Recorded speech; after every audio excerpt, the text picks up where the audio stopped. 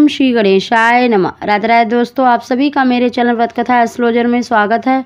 दोस्तों, आज की वीडियो में हम जानेंगे कि फोर मंथ प्रेगनेंसी के दौरान वो कौन से सटीक लक्षण दिखाई देने लगते हैं, जिससे कि आप काफ़ी हद तक अनुमान लगा सकते हैं कि आपकी होने वाली जो संतान है, वो एक लड़का होगा या लड़की होगी। दोस्तों, ये लक्षण बहुत ही सटीक हैं और फोर मंथ प्रेगनेंसी में अधिकतर गर्भवती महिलाओं में दिखाई देते हैं। सबसे पहले लक्षण की बात करें तो दोस्तों, अगर फोर मंथ प्रेगनेंसी के दौरान अगर आपको बहुत अधिक चटपटा खाने का मन करता है, यानी आपको तीखी चीज़ें ज़्यादा पसंद आ रही हैं तो ये साइन देखिए, लड़का होने का माना जाता है।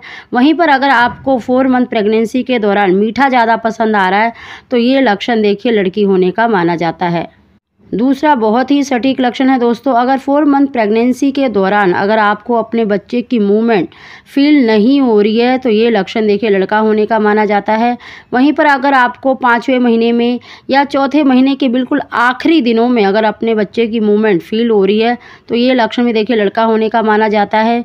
वहीं पर अगर आपको मतलब फोर मंथ पहले से ही अगर अपने बच्चे की मूवमेंट फील शुरू हो गई है तो ये लक्षण देखिए, लड़की होने का माना जाता है।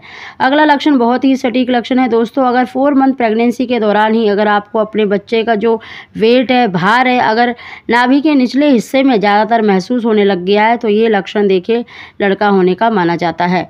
और फोर मंथ में ही अगर आपकी मतलब टम्मी दिखने लग गई है तो ये लक्षण भी लड़का होने का माना जाता है। अगला लक्षण बहुत ही सटीक लक्षण है। दोस्तों, अगर फोर मंथ प्रेगनेंसी के दौरान ही अगर आपकी नाभि लाइन बननी शुरू हो गई है हल्की हल्की लाइन आपको बिल्कुल दिखाई दे रही है, और वो लाइन बिल्कुल सीधी है तो ये लक्षण देखिए लड़का होने का ही माना जाता है। नेक्स्ट लक्षण है दोस्तों, अगर आपके पैरों में बहुत ज़्यादा आपको मतलब ऐठन दर्द महसूस होता है, यानी अपने सीधे पैर में ज़्यादातर आपको ज़्यादातर दर्द महसूस होता है, पैरों में मतलब आपको दर्द होना या पिंडलियों में अगर आपको ज़्यादा दर्द होने लग गया है तो ये लक्षण भी लड़का होने का माना जाता है। तो दोस्तों, वीडियो पसंद आई हो तो इसको लाइक शेयर ज़रूर करें। आप सभी को ओम श्री गणेशाय नमः।